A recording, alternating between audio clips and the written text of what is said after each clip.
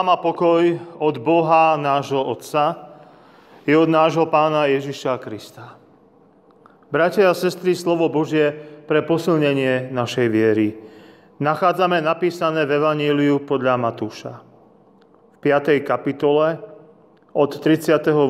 verša takto. Počuli ste, že bolo povedané oko za oko, zub za zub. Ale ja vám hovorím, Neprotivte sa zlému. Naopak, ak ťa niekto udrie po pravom líci, nastav mu aj druhé. Ak to sa chce súdiť s tebou a vziať ti spodné rúcho, daj mu aj plášť.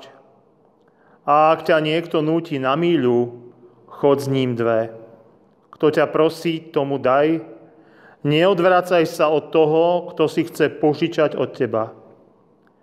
Počuli ste, že bolo povedané, milovať budeš svojho blížneho a nenávidieť svojho nepriateľa. Ale ja vám hovorím, milujte svojich nepriateľov. Dobrorečte tým, ktorí vás preklinajú. Čínte dobre tým, ktorí vás nenávidia. A modlite sa za tých, ktorí vás prenasledujú a vám sa protivia. Aby ste boli synmi svojho Otca, ktorý je v nebesiach – Veď on dáva vychádzať slnku na zlých aj na dobrých, zosiela dáž na spravodlivých aj na nespravodlivých. Lebo ak milujete tých, ktorí vás milujú, aká vám za to odplata? Či nerobia to isté aj colníci? A ak pozdravujete len svojich bratov, čo zvláštneho robíte? Či nerobia to isté aj pohania? Vy teda buďte dokonalí, ako je dokonalý váš Otec nebeský. Blahoslavení sú tí, ktorí počúvajú Božie slovo i zachovajú ho vo svojich srdciach. Amen.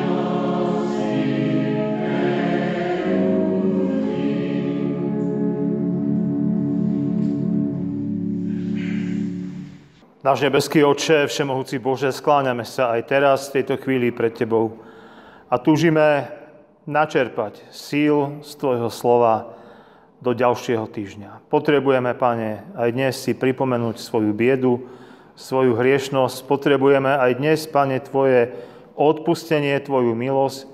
Túžime aj teraz načerpať z Tvojho slova, aby sme mali silu premáhať naše hriešné sklony, a nežiť podľa tela v tom ďalšom týždni, ale žiť podľa ducha. Podľa ducha Tvojho Svetého. A tak ťa prosíme o Tvoju pomoc, o Tvoju blízkosť, o Tvoje požehnanie. Amen. Slovo Božie, bratia a sestry, ktoré bude základom nášho dnešného kázania, je napísané v Evaníliu podľa Matúša v 5. kapitole v 44. verši takto ale ja vám hovorím, milujte svojich nepriateľov, dobrorečte tým, ktorí vás preklínajú, čínte dobre tým, ktorí vás nenávidia a modlite sa za tých, ktorí vás prenasledujú a vám sa protivia. Toľko je slov písma svätého.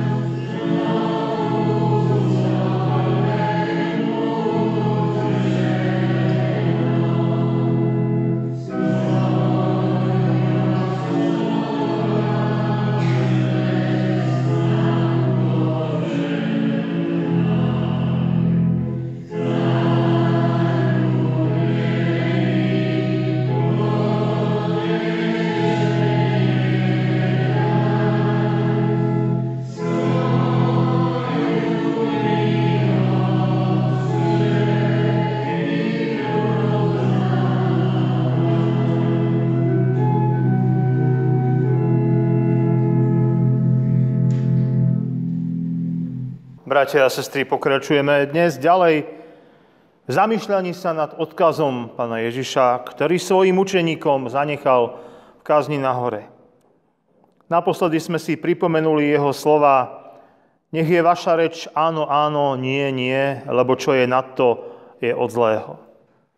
Teda, aby sme nemuseli vždycky prísahať a takto presviečať ľudí, že tentokrát už naozaj to myslíme vážne ale aby naša reč bola hodnoverná, jasná a priama. Áno, aby bolo áno a nie, aby bolo nie. Dnes je pred nami ďalšia oblasť života, veľmi praktická, jasná a zrozumiteľná. Celá táto kázeň nahore má veľmi praktický rozmer. Je tam samozrejme aj rozmer duchovný ale zároveň je to rozmer veľmi praktický. Týka sa bežného života. A dnes sa budeme zamýšľať nad tým, čo od nás Pán Ježiš chce. V tej súvislosti, aký máme mať postoj ku svojim nepriateľom. Aký máme mať postoj ku ľuďom, ktorí nám ubližili. Alebo ubližujú, alebo nás ohovárajú, robia nám napriek Aký postoj má mať učeník pána Ježiša Krista ku takýmto ľuďom?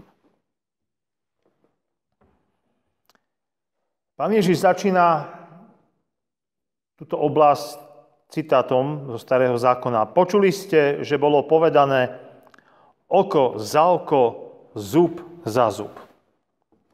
Presne je to z druhej knihy Mojžišovej, kde v 21. kapitole Čítame od 23. verša. Ak by sa však stala smrteľná nehoda, vtedy dáš život za život, oko za oko, zub za zub, ruku za ruku, nohu za nohu, popáleninu za popáleninu, ranu za ranu, modrinu za modrinu. Tieto slova znejú dosť, dosť tvrdo. Ale je to taký obsiahlejší citát, ako len to známe, čo sa tak dostalo do povedomia, oko za oko, zub za zub. Ale aj napriek tomu, že to znie je dosť tak tvrdo, stále to je hrádza proti zlu. Proti nekontrolovateľnej zúrivosti voči zúrivej pomste. Uvediem jeden príklad, na ktorý si starší z vás dobre pamätáte. Udial sa približne pred 50 rokmi v Tušickej Novej Vsi. Kedy jeden chlapec nahneval nejako školníka a školník, ako to bolo bežné v tom čase, v školstve dal chlapcovi facku. Chlapec sa posťažoval otcovi, otec sa nazúril a školníka zavraždil zabil ho. Ak by postupoval podľa starého zákona, tak išiel by, išiel by za tým školníkom a dal by mu facku. Alebo keď chlapec mal modrinu, on by mu urobil modrinu. Alebo keby chlapcovi ten školník zlomil ruku, on by mu zlomil ruku. Takže on v zúrivosti tohto školníka zabil potom samozrejme šiel do väzenia, dlhé roky tam sedel a keď sa vrátil, ešte niekoľko rokov žil v obci, ale žil veľmi samotarským životom a nikto s ním nechcel mať nič spoločné. A takýchto príbehov je veľmi veľa. Ak čítame čiernu kroniku. V minulosti sa neraz stávalo, napríklad na dedinských zabavách, že jeden muž druhého urazil, povedal mu niečo škaredé, niečo nevhodné. Ale reakcia bola nejaká zlomenina alebo, alebo aj, aj zabitie.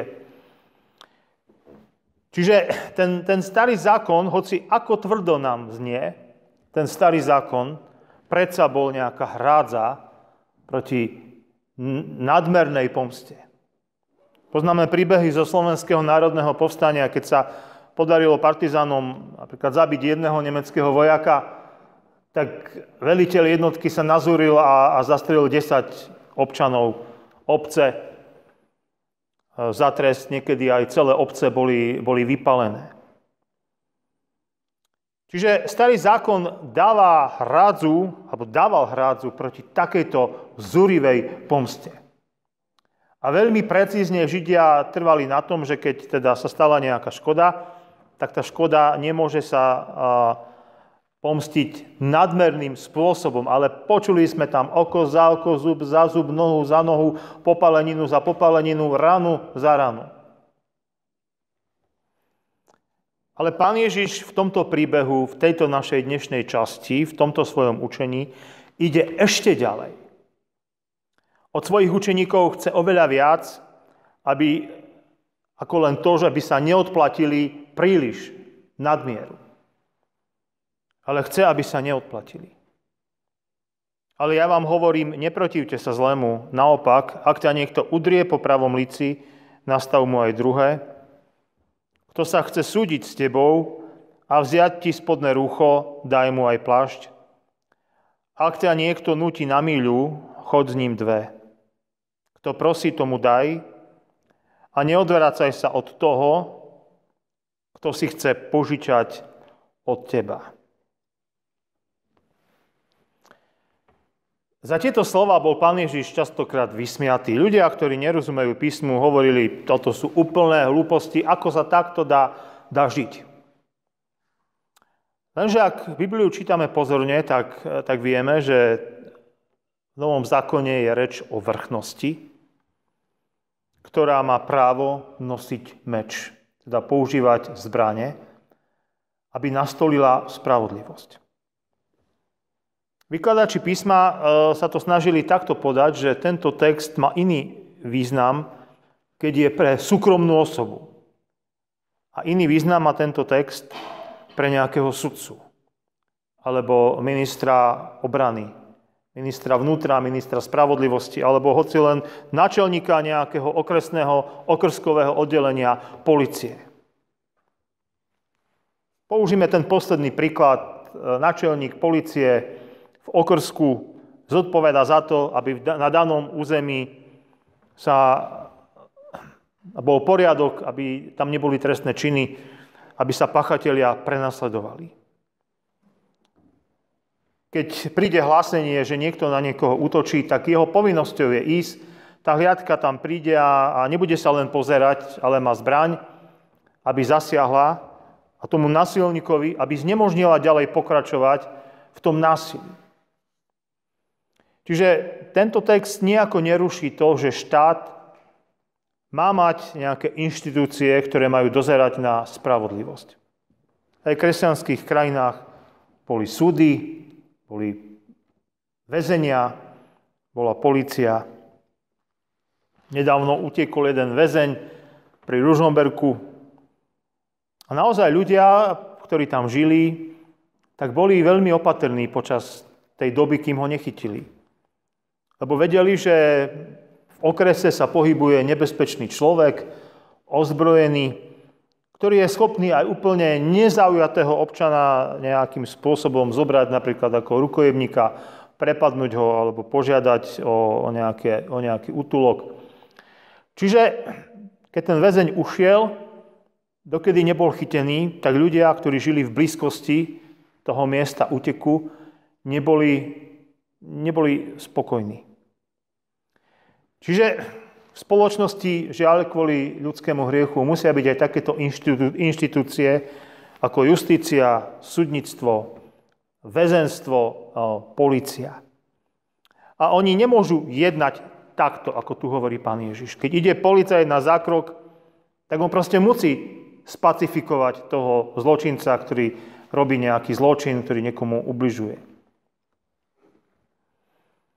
Alebo si predstavme prokurátora prokurátora, ktorého úlohou je, je napísať obžalobu, podať obžalobu, obviniť niekoho.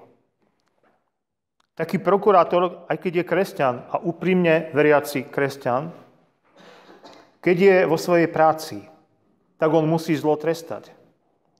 On nemôže nastaviť druhé líce. Nastaviť druhé líce môže, keď má nejakého nepríjemného suseda, ktorý ho ohovára, ktorý mu nadáva, ktorý mu nejako škodí tak tam osobne môže jednať takto, pokiaľ to nepresiahne istú hranicu. Lebo to si tiež musíme uvedomiť, že policia nemôže riešiť všetky spory, všetky krivdy, všetky urážky, všetky zlomyselnosti. Áno, keď už sa prekročí istá medza, keď už došlo ku trestnému činu, keď už došlo ku nasiliu alebo ku vlámaniu, ku krádeži, tak vtedy e, policia zasahuje. Ale je ešte veľká oblasť života, kde ako kresťania sme povinní jednať takto. To znamená nastaviť druhé líce, neodplatiť sa. Neodplatiť sa e, za zlo zlom. Ale tak ako hovorí apoštol Pavol, dobrom premáhať zlo. Pán Ježiš potom ide ešte hlbšie. Ide až do postoja nášho srdca, keď hovorí, Počuli ste, že bolo povedané, milovať budeš svojho blížneho a nenavidieť svojho nepriateľa. Takto to farizei a zákonníci vyučovali ľudí a bolo to niečo, čo sa vlastne ľuďom celkom aj páčilo. Lebo toto je pre nás najprirodzenejšie. Správať sa pekne ku tým, ktorí sa ku nám správajú pekne. No a správať sa zle ku tým, ktorí ku nám sú zlí. Sú aj takí zlí ľudia, ale taká menšia časť ľudstva je taká, že je schopná aj za dobré sa odplatiť zlom. Ale väčšina ľudí je predsa len taká, že zachováva akú takú spravodlivosť, že ku tomu, kto sa ku nám správa dobre, aj my sa správame dobre. No a ku tomu, kto sa ku nám správa zle, sa aj my správame zle. Ale pán Ježiš e, hovorí, že musíme ísť ďalej a povedal tie známe slova. Milujte svojich nepriateľov. Dobrorečte tým, ktorí vás preklínajú. Čínte dobre tým, ktorí vás nenávidia. A modlite sa za tých, ktorí vás prenasledujú a vám sa protivia. Aby ste boli synmi svojho Otca, ktorý je v nebesiach. Veď On dáva vychádzať slnku na zlých aj na dobrých a zosiela dáž na spravodlivých aj na nespravodlivých. Lebo ak milujete tých, ktorí vás milujú, aká vám za to odplata? Či nerobia to isté aj colníci? Ak pozdravujete len svojich bratov, čo zvláštneho robíte? Či nerobia to isté aj pohania? Vy teda buďte dokonalí, ako je dokonalý váš Otec nebeský. Čiže pre človeka nie je až také ťažké správať sa na tom princípe, že ako sa ľudia správajú ku nám, tak, tak sa budeme správať aj my ku tým ľuďom. To, to, to nie je ťažké zachovať. Pán Ježiš hovorí, že to aj pohania, aj colníci, teda tým chce vyjadriť, že aj ľudia, ktorí nežili s Bohom, dokázali toto zachovať. Že väčšina ľudí dodnes sa dokáže takto správať dobré ku tým, ktorí sa ku nám správajú dobre. Ale ten, kto je učeník Pána Ježiša Krista, kto sa od neho chce učiť, ako má prežiť svoj život, tak ten človek musí ísť ďalej. A musí sa naučiť správať dobre aj ku svojim neprajníkom, nepriateľom, protivníkom, aj ku tým, ktorí nám ubližujú. A je tu jeden zaujímavý argument, že prečo sa tak má správať učeník Pána Ježiša Krista. Aby ste boli synmi svojho Otca, ktorý je v nebesiach, veď On dáva vychádzať slnku na zlých aj na dobrých, zosiela dáž na spravodlivých aj na nespravodlivých. Asi pred 4 týždňami tá situácia so suchom bola kritická. Už bolo mnoho víziev e, v církvi medzi kresťanmi z rôznych církví, aby sme sa modlili za, za dážď. Aj v našom zbore sme sa modlili a prišlo aj také obdobie, prišli aj také týždne, kedy tej vlahy predsa bolo viac ako predtým. Ešte stále by sme potrebovali ďalej. Ale predsa nejakú vlahu Pán Boh dal. A teraz si predstavme, Pán Boh dá dáž na nejakú obec. Ale ten dáž pada nielen na záhradu nejakého bohabojného, veriaceho človeka ale aj na človeka, ktorý v tej obci žije a je zlý, vôbec Pána Boha neverí, nestará sa o neho, je možno aj Božím protivníkom, ale ten dáž dostane aj tento človek. A keď vyjde slniečko, tak zasvieti nielen na dobrých ľudí v danej obci, ale aj na tých zlých. Takže toto Pán Boh robí. A toto chce od svojich učeníkov. Ak chceme byť Božími deťmi, aby ste boli synmi svojho Otca, ktorý je v nebesiach, veď On dáva vychádzať slnku na zlých aj na dobrých a zosiela dáž na spravodlivých aj na nespravodlivých. Takže to je ten dôvod, prečo to máme robiť. Lebo milovať iba tých, ktorí nás milujú, tak to je vlastne niečo, čo je taký štandard bežne. Aj ľudia bez viery dokážu takýmto spôsobom žiť. Ale nás tu vyzýva Božie slovo, aby sme išli ďalej. Buďte, vy teda buďte dokonalí, ako je dokonalý váš Otec nebeský. Samozrejme, dokonalosť nedosiahneme na tejto zemi, ale máme sa o ňu snažiť. A toto má byť náš cieľ. Samozrejme, je tu stále ten rozdiel medzi tým, keď je človek zamestnaný nejakých justičných orgánoch, či je pracovník, zamestnanec väznice, policie, súdu, prokurátory a potom ten taký osobný, osobný život. Ale stále je, je oblasť života, kde, kde toto môžeme uplatniť. Kde môžeme uplatniť to, že sa za svojich nepriateľov budeme modliť, nebudeme im odplácať, nebudeme im zlorečiť. Pán Ježiš takto zomieral a takto zomieral aj Štefan, ktorý V tej modlitbe povedal tú známu vetu, pane, nepočítaj im tento hriech. Aj vo veľkej politike, v medzinárodnej histórii, medzinárodnej politike to platí, že každá pomsta plodí len ďalší hnev a ďalšiu, o, ďalšiu nenávisť. Nemecko, keď bolo porazené po prvej svetovej vojne, dostalo veľmi prísne tresty a to nakoniec viedlo ku, ku ďalšej vojne, o mnoho horšej. Ale po tej horšej vojne tí vyťazí pochopili, že, že musia konať inak a podali tomuto národu pomocné ruky a ten národ sa premenil. A to isté sa stalo aj s Japonskom. Muselo byť najprv porazené. Ale potom dostalo pomocnú ruku, ten národ sa premenil a nie je už teraz pre nikoho nebezpečenstvom. Je to jeden normálny národ, ktorého ani nenapadne, že by teraz na niekoho utočili, s niekým bojovali. Chcú mať samozrejme bezpečnosť, bránia sa, musia sa starať o svoju obranu, ale ich nenapadne, že by teraz zautočili na niekoho, ako to bolo pred, e, pred, pred 100 rokmi. Toto platí aj vo veľkom, platí to aj, aj v malom. Sú národy, ktoré môžu dlhé staročia sa nenávidieť a, a bojovať proti, proti sebe. Pomsta vždycky plodí len, len ďalšiu pomstu. Takže Vidíme, bratia a sestry, že tieto slova pána Ježiša Krista aj vo veľkom, aj v malom majú hlboký význam. Nemôžeme ovplyvniť veľké veci, ale môžeme ovplyvniť tie drobné veci. A v našich vzťahoch sa snažme takto správať. Takto, ako tu pán Ježiš to hovorí, ako to on žiada od svojich učeníkov. Amen.